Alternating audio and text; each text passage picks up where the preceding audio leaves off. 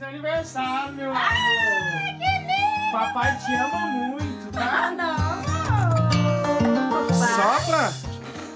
Aê! Aê! Viva Manuzinha! A história que comoveu o Brasil. Um pai que carregou todo o seu amor num pequeno pedaço de bolo. Papai te ama muito, tá? Que Deus te dê muitos anos de vida. Nós estamos numa região de chácaras na cidade de Anápolis, que fica aproximadamente 60 quilômetros da capital Goiânia. Eu estou em frente à casa onde mora o Antônio, um pedreiro de 28 anos, que simplesmente cativou o país inteiro com a sua humildade. Pode mostrar, por favor? A casinha é simples, é humilde, eu já descobri por meio da minha produção que se trata de um lar em que essa família mora de favor. Antônio, corre pra cá, fi.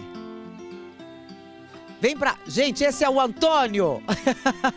o Antônio que chorou no vídeo. Antônio, você não tem ideia como o seu gesto de pegar aquele bolinho com a velhinha em cima tocou o coração das famílias brasileiras. Aquele vídeo não teve intenção nenhuma. Vocês gravaram aquele vídeo por quê? Não teve intenção. A minha esposa resolveu gravar para mostrar para os amigos da gente. Simples. E no Facebook da gente a gente nem tem tanto amigo também. E foi sem intenção alguma.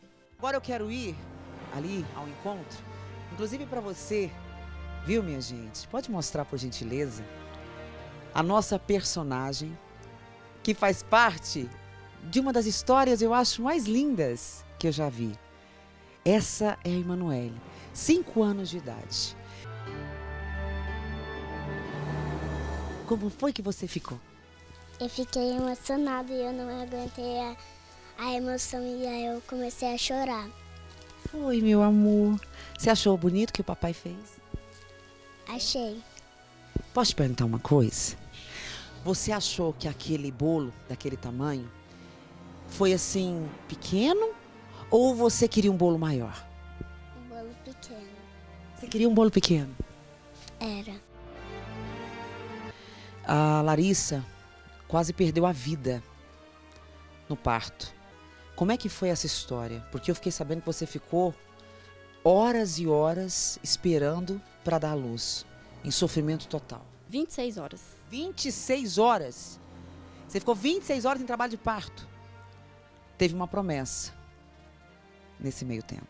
Que promessa foi essa? A minha mãe foi vendo lá meu sofrimento, e ela, pela fé dela também, que minha mãe é uma avó coruja demais. Ela pegou e foi, me ajoelhou do, do lado meu e falou que ela não poderia ir de a pé comigo, mas que quando ela inteirasse os cinco anos, ela ia fazer a festa dela de cinco anos, de- cinco anos de idade para entregar a promessa dela também.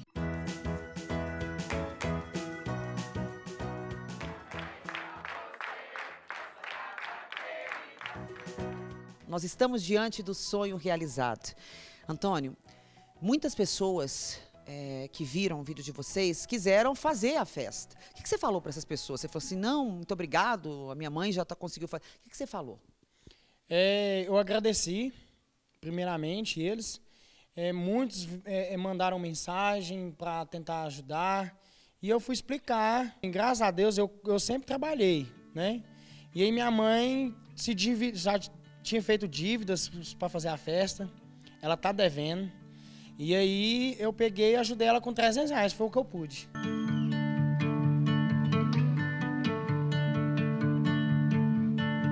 Manuele, Oi. você está feliz? Tô. O que, que você teria a dizer para as pessoas que gostaram da sua história, das pessoas que deram os presentes? O que, que você teria para falar para essas pessoas?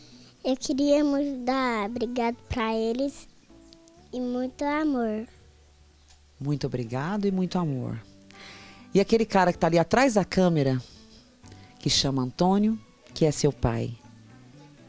O que, que você tem para falar para ele? Eu gosto muito dele, eu amo ele, eu amo minha mãe e eu amo meu pai.